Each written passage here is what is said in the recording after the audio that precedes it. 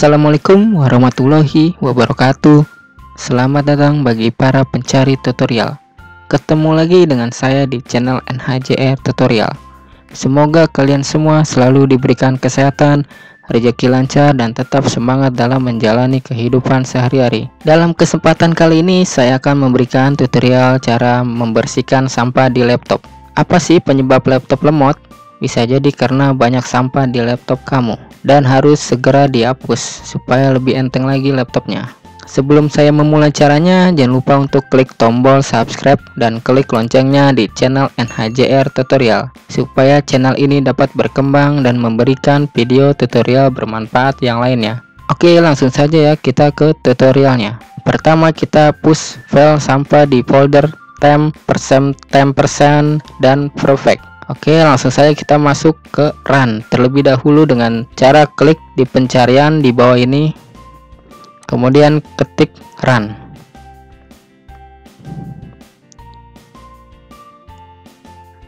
Di sini ya.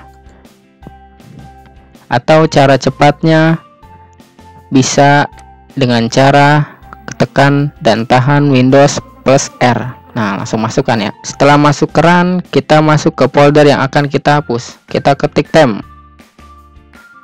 Lalu enter. Setelah berhasil masuk ke folder temp, kita hapus semua file yang ada di sini dengan cara blok manual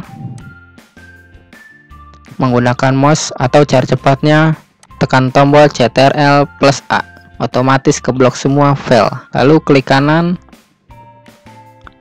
pilih delete Nah, hapus semua ya. Lalu close, kemudian hapus file berikutnya. Ulangi cara yang pertama, masuk keran dengan cara tekan dan tahan Windows plus R, kemudian ketik persen temp persen. Enter. Blok semua file, tekan dan tahan tombol CTRL plus A. Klik kanan, delete. Nah, kalau ini checklist saja lalu skip ya. Ada file yang tidak bisa dihapus lalu close Kemudian hapus file berikutnya. Ulangi cara yang pertama. Masuk keran, tekan dan tahan tombol Windows plus R. Lalu ketik perfect. Enter. Setelah berhasil masuk ke folder perfect, kita hapus semua file dengan cara blok semua file, tekan dan tahan tombol CTRL plus A. Klik kanan, delete. Nah ini sama kayak tadi ya, ada file yang tidak bisa dihapus. Dicontreng lalu skip. Setelah semua dihapus, ke manakah file yang barusan kita hapus? Filenya masuk ke recycle bin di sini ya. Kita bisa langsung hapus juga di folder recycle bin. Kita pilih recycle bin. Kemudian kita blok semua file dengan cara tekan dan tahan tombol CTRL plus A lalu tekan delete klik kanan delete. Yes. Close. Selesai. Itu cara yang pertama ya. Yang kedua kita menggunakan disk clean up. Buka file explore. Kemudian pilih hard disk penyimpanan C. Kemudian klik kanan pilih properties. Di dalam general ini pilih disk clean Nah langsung masuk ya. Atau ada cara cepatnya? Kita hapus dulu ya. Kita hapus. Pakai cara cepatnya Ketik disk clean up di kolom search di bawah ini nih. Disk clean up. Nah pilih folder C. Oke.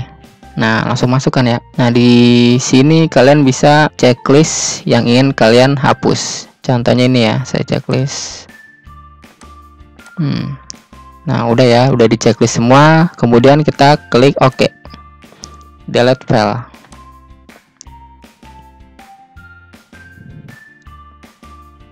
Tunggu sampai proses cleaningnya selesai. Jika sudah selesai, akan hilang tampilan di clean up-nya.